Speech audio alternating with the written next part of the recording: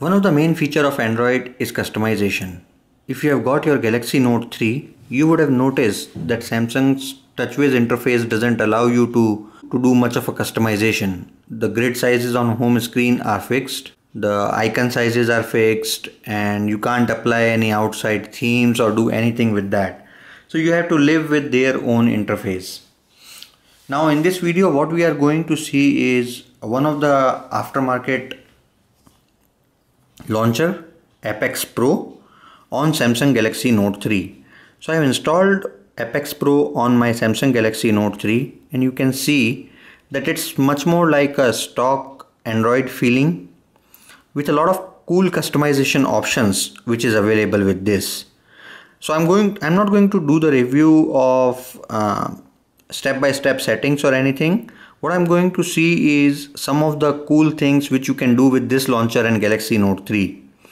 One of the primary feature which I like on this launcher is when you actually go on Apex settings and you have this behavioral setting where you can actually set what you want to do with the buttons like the home button. So you can select when you press home button what should happen and you have a certain actions here so you can select to default screen notification quick settings. Like i have selected to launch an app which is like launch google. So it's going to launch google now for me.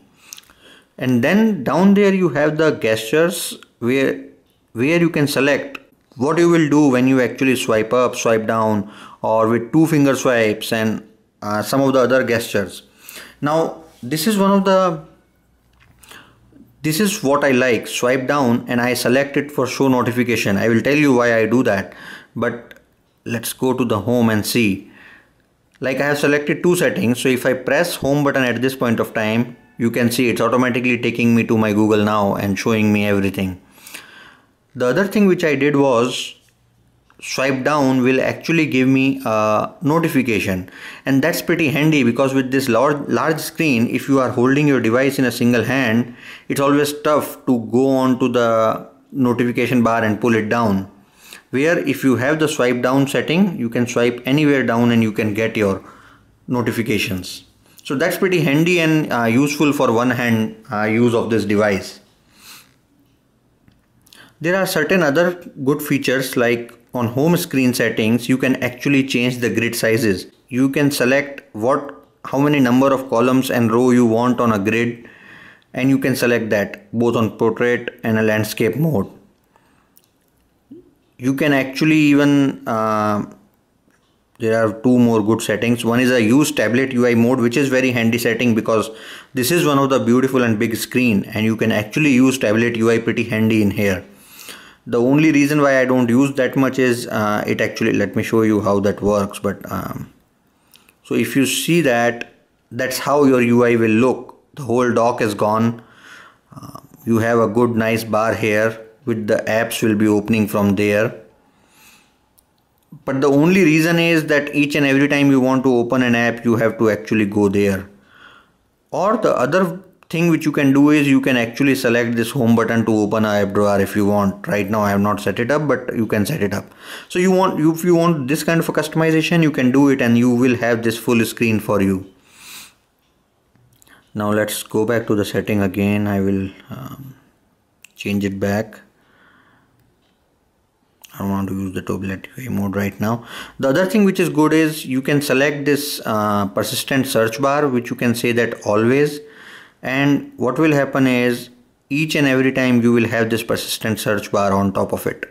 And this grid will be separate than this. So you automatically are going to use the space much more. The same kind of settings are available in the drawer where you can actually select the grids for that also. You can select infinite scrolling transition effects and other stuff.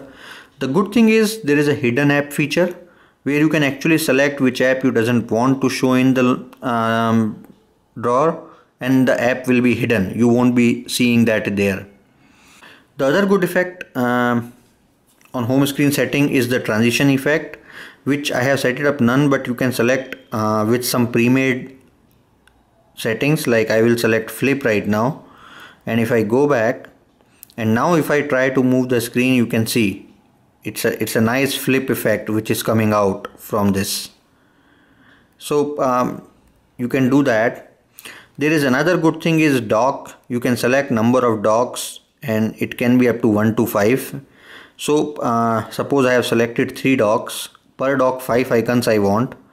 And uh, I can select again all some of the settings and hide dock divider. But when you go back now you have 5 of the docks here. So I can actually scroll around here. So you can see the scroll is like the three screens on top. You have three drawers here. So you can actually put 15 icons almost there.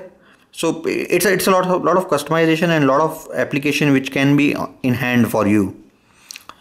The other thing is folder settings. You have the folder preview settings which you can actually set up how you want to show the uh, folders and some other background and other stuff all the customizations are available.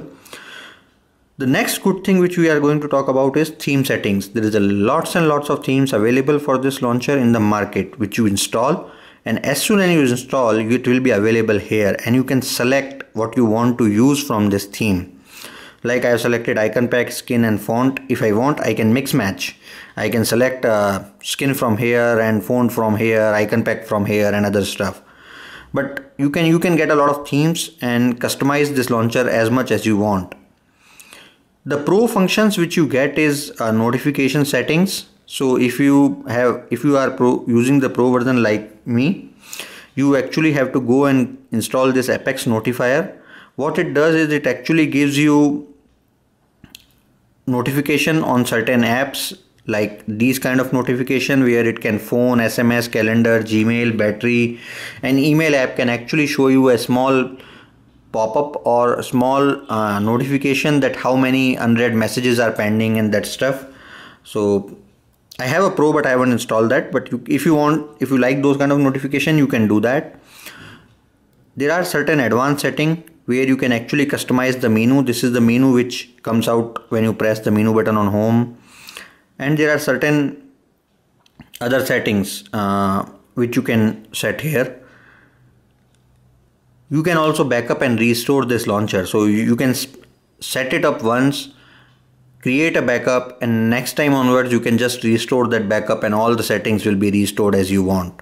So it's it's pretty easy and handy launcher I have changed the grid size to 5 by 4 so you can see that there is a lot more space here even after showing this widget and a persistent search bar. So this is this gives the power of utilizing the more and more space of this 5.7 inch HD screen. Hope you would like this video and uh, give a try to Apex launcher. I will be doing more reviews about other launchers on Samsung Galaxy Note 3.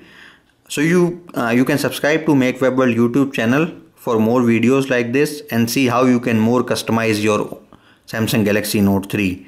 Thank you.